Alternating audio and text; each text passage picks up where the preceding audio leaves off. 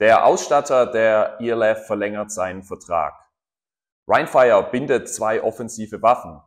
Und die Madrid Bravos mit dem nächsten Blockbuster-Signing. Das alles und noch mehr jetzt bei ELF News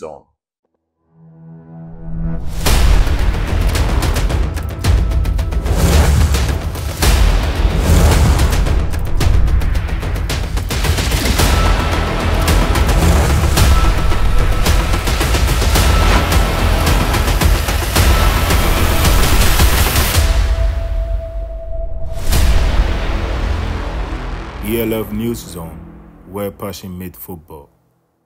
Einen wunderschönen guten Morgen, liebe Freunde des europäischen Rasenschachs. Es ist Freitagmorgen und damit auch wieder Zeit für ELF News Zone.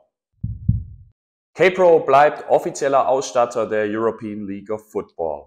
Die Verantwortlichen haben am Montag mitgeteilt, dass die italienische Manufaktur bis 2025 offizieller Ausstatter der Teams sein wird. Die Verantwortlichen zeigen sich sehr zufrieden mit der Qualität der Produkte und freuen sich auf eine weitere Zusammenarbeit in den kommenden Jahren. Die Liga hat den Spielplan für 2024 veröffentlicht. Direkt in Woche 1 kommt es zu einem Spitzenduell. Die Munich Ravens sind zu Gast bei Stuttgart Search und das hat richtiges Blockbuster-Potenzial, denn beide Teams haben in der Offseason extrem aufgerüstet und beide Städte liegen sehr nahe beieinander. Wo Rheinfire spielt, ist extrem viel los und darüber können sich in Woche 1 die Cologne Centurions freuen. Die werden nämlich im Tivoli-Stadion zu Aachen spielen und werden dort Fire begrüßen dürfen. Die Favoritenrolle ist klar. Rheinfire als amtierender Champion reist nach Köln, die nicht in die Playoffs gekommen sind. Aber die Kölner haben es geschafft, in der Offseason einige gute US-Imports zu verpflichten. Und wir können gespannt sein, ob die Kölner es schaffen, ein Upset gegen Fire mit den heimischen Fans im Rücken zu schaffen. Berlin Thunder zu Gast bei den Wroclaw Panthers. Ein Spiel, das wirklich hochkarätiges Potenzial hat nach den Off-Season-Signings beider Teams und natürlich auch der Zugehörigkeit in derselben Conference. Das Team, was hier siegreich vom Platz geht, wird den Hype um sich sicherlich weiter steigern können. Zudem reisen die Hamburg Sea Devils nach Prag, die Vikings sind zu Gast in Ungarn die Dragons bei den Guards und die Raiders reisen nach Mailand. Berlin Thunder verpflichtet den Defensive Lineman Serif Gibrila. Gibrila hat das Footballspielen in Hannover begonnen und hat jetzt seinen Weg über die GFL in die European League of Football gefunden. Er kommt von den Berlin Adlern, für welche er in der letzten Saison in elf Spielen insgesamt 30 Tackles und zwei Sacks erzielen konnte. Nun solle der Defensive Line von Berlin Thunder zusätzliche Tiefe geben, die ja schon mit Kyle Kitchens, Emil Hofte, Aaron Große-Kleinmann, Ben Bayerl und nun eben Gibrila sehr gut aufgestellt sind für die Saison 2024.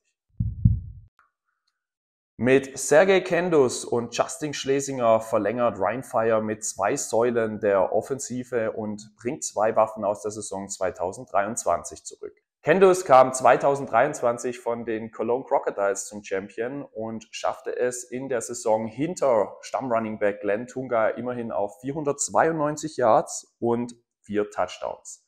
Zwei dieser wichtigen Endzonenläufe kamen auch in den Playoffs. Einmal der Lauf gegen Frankfurt Galaxy und dann natürlich auch der Touchdown im Finale gegen Stuttgart Surge. Justin Schlesinger kommt auch von einem Kölner Team, auch 2023, allerdings von den Cologne Centurions und er brachte es insgesamt auf 230 Receiving Yards in der vergangenen Saison und erzielte dabei sechs Touchdowns. Die Hamburg Sea Devils verpflichten Wide Receiver Theo Landström von den Barcelona Dragons. Der Schwede kam in der abgelaufenen Saison auf insgesamt 805 Yards und erzielte dabei auch acht Touchdowns. Für die Dragons heißt das einen weiteren Verlust auf der Skill Position in der Offense und die Hamburger können sich auf einen jungen und sehr talentierten Wide Receiver freuen. Und der Schwede wird auch gleich mehrere Stationen in Norddeutschland kennenlernen. Die Hamburger haben offiziell bestätigt, dass sie das einzige Spiel in Hamburg im Volksparkstadion austragen werden. Weitere Spielorte sind das Bremer Weserstadion für ein Spiel und zwei Spiele in der Arena von Hannover 96. Die verbleibenden zwei Spiele sind die Orte noch unklar. Die Hamburger befinden sich momentan in Verhandlungen mit Kiel und Rostock. Sollte dies nicht klappen, gibt es immer noch einen Plan B mit Lübeck. Die Madrid Bravos geben den nächsten Hammer-Transfer bekannt. Mit US-Defensive Back Jalen Ambry verpflichten sie einen sehr erfahrenen Spieler, der schon zweimal in der European League of Football unterwegs war, nämlich bei Frankfurt Galaxy und letztes Jahr bei den Raiders. In Tirol schaffte es Ambry insgesamt auf 75 Tackles, eine Interceptions und 10 Pass Breakups.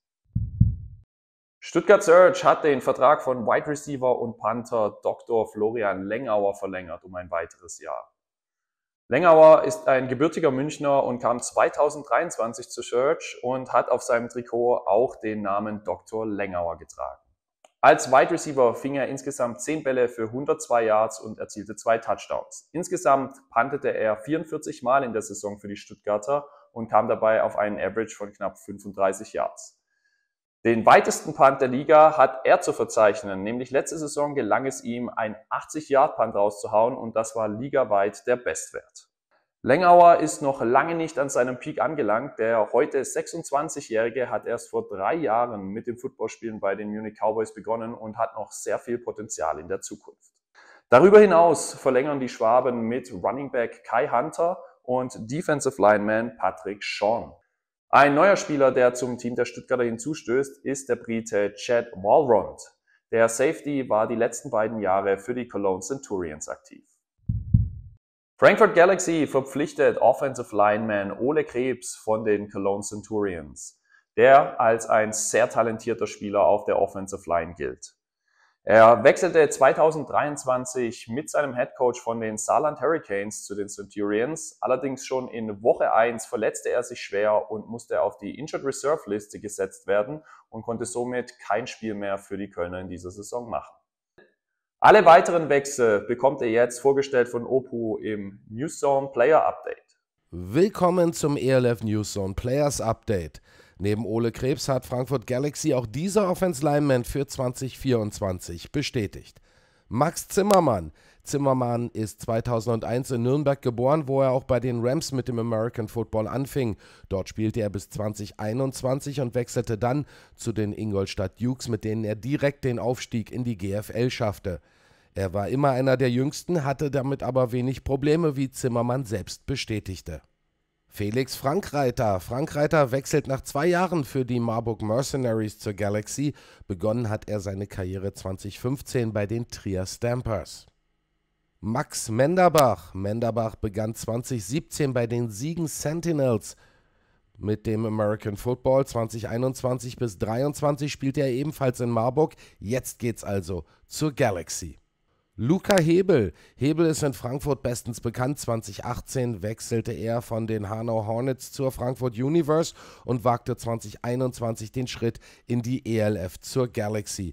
Dort spielte er zwei Jahre, wurde einmal Champion und wechselte dann in der vergangenen Spielzeit zu den Kuopio Steelers in die finnische Liga. 2024 ist er back in Purple und bereit für seinen zweiten Ring. Außerdem wurden mit Kahn Timpel, Moritz Schmid, Matej Benček und Tang Lemin vier weitere Offense-Linemen für 2024 verlängert. Doch das war's noch nicht für Frankfurt. Mit Norman und Niklas Schumm kommen die Wide Receiver Zwillinge zurück zur Galaxy. Beide waren in der vergangenen Saison bereits Teil der Galaxy. Während Niklas noch auf seinen ersten Touchdown wartet, konnte Norman schon vier Endzonenbesuche für die Galaxy verbuchen. Die Munich Ravens haben am Sonntag die Verlängerung von Offensive Lineman Patrick Roth, Fullback Niklas Ritter und Linebacker Burak Effingjoglu bekannt gegeben, die 2024 das Team verstärken sollen. Und zum Abschluss des ELF Newzone Player Update wollen wir euch noch mit unnützem Wissen versorgen. Heute vor genau einem Jahr verpflichteten die Leipzig Kings Linebacker Nils Schröter aus der GFL. Nach dem Aus der Sachsen wollte Schröter seine Karriere eigentlich beenden, war aber mit sich selber nicht im Reinen, weil das kein schönes Karriereende gewesen wäre.